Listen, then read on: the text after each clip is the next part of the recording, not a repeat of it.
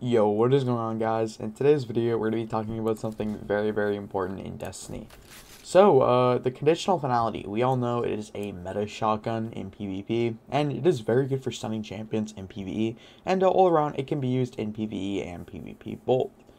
How do you get it? Well, you have to farm the Root of Nightmares raid, and the problem with that is it comes down to complete RNG. Um, it is literally like a 5% chance out of 100 so uh, it's definitely a little bit of a pain to farm for.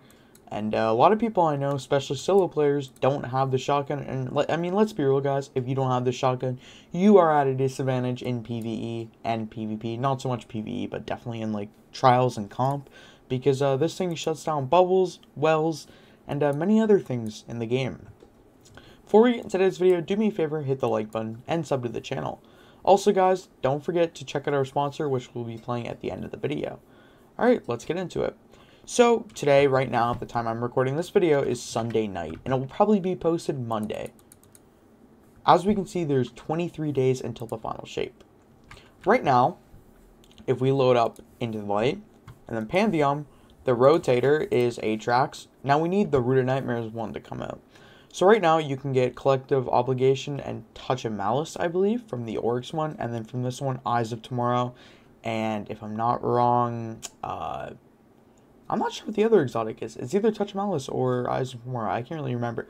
But all I know is Conditional Finality is the only one right now that's non-obtainable. Now, this Tuesday coming, so literally in a day from now, you will be able to obtain the Conditional Finality from completing Pantheon.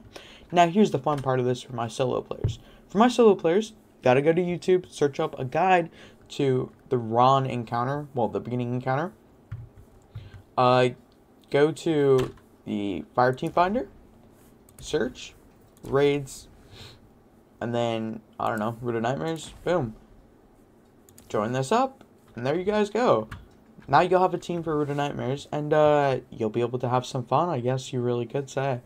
Um, yeah, that's really like all for today's video. I'm just saying, you know, conditional finality is going to finally be obtainable for my solo players and uh, just people who don't have it or have really, really bad RNG. I would definitely suggest to not miss this out because I mean this is going to be a big chance for my newer players to get it. Have a great night, guys. Stay safe. I hope this video helped, or you know you find it informative. On net, you can find teams that complete different activities like raids, trials, exotic farming, and many more. All the services can be done without account sharing.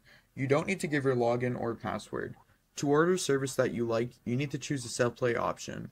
When you select something that you like, choose your platform. In this case, I play on PC, so I'm going to be selecting PC. From here, to select the self-play option, go all the way down and click self-play. After you're satisfied with what you're going to purchase, add to cart, and then click purchase. After finding out what you're going to want to purchase, you're going to want to go to your coupons and type code HECTIC for a 15% off on all products. From here, type your email so they can contact you. Then choose a payment method and check out. I would highly recommend Dving.net as you can do a lot of awesome things and they have great support.